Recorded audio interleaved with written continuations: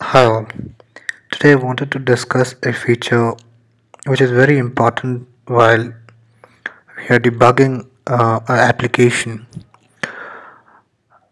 The feature I wanted to discuss is the network throttling which Chrome Developer Tools provides.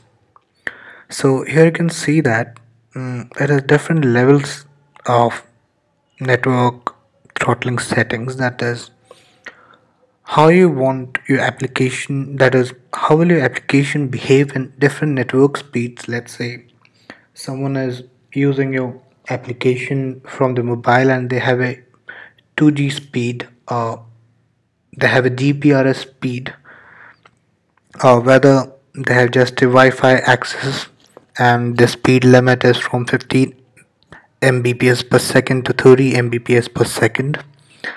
So these are the levels of network uh, throttling which Chrome provides you by default to test your applications in.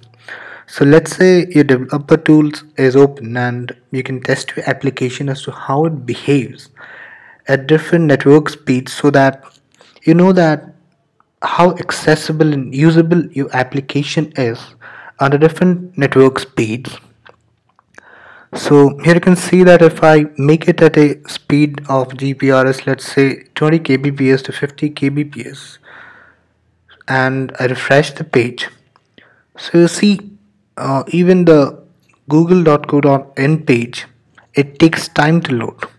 So it shows me like how much time the user will take to uh, completely see the page and what are the features which will be uh, like troubling to identify while the page is loading and other issues associated with it.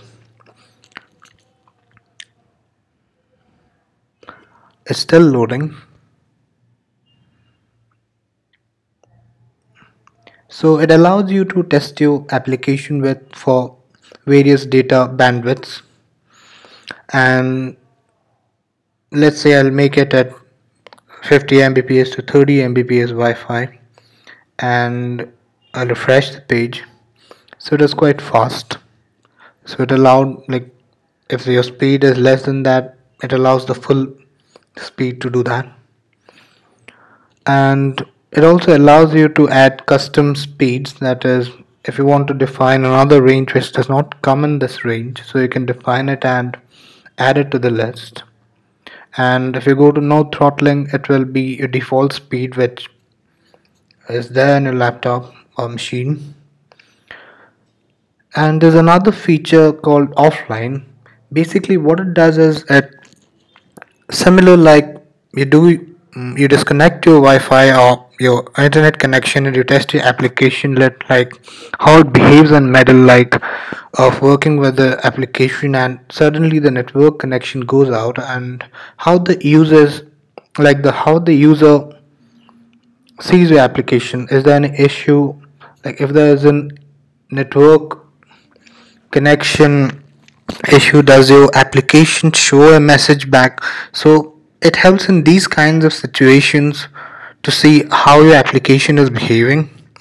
And another aspect of this is okay let me refresh the page at this throttling level.